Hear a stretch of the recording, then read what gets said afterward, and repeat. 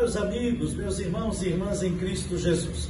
Na próxima segunda-feira, dia 26, eu estarei celebrando a missa da oitava de Natal, Natal do Senhor, na Igreja Nossa Senhora do Parto, Rua Conselheiro Mafra, bem no centro de Florianópolis. A igreja que a comunidade de Vinoleiro mantém, administra, zela, cuida com tanto amor. É uma igreja de Natal, é a igreja de Nossa Senhora do Parto. Então, na segunda-feira, meio-dia e 15, eu espero por você, querido amigo, colaborador, arauto, você que faz parte da história, da vida da nossa comunidade de Vinoleiro, da Igreja Nossa Senhora do Parto. Espero você, segunda-feira, missa da oitava do Natal, Natal do Senhor.